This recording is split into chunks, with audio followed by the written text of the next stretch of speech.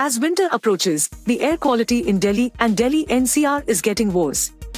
Due to this, people are suffering from various health issues like asthma, lung infections, eye infections, coughs, and colds.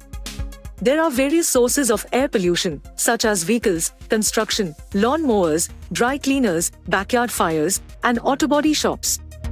To prevent air pollution from these sources and keep your surroundings clean, WHO has suggested a few ways to fight air pollution, such as Avoid driving during rush hours. Walk to work. Try to drive an electric car. Compost your waste.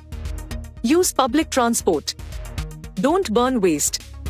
Use renewable energy to power your home. Use clean energy for cooking. Turn off your lights and electronics. Limit backyard fires. Daily monitor your air quality. Wear a mask whenever traveling. Plant air purifying plants at home and at work. And ventilate your homes when the air quality level is good. These steps will help you deal with air pollution. Do tell us what you think about this video in comments section and for more news updates subscribe to Tak AI.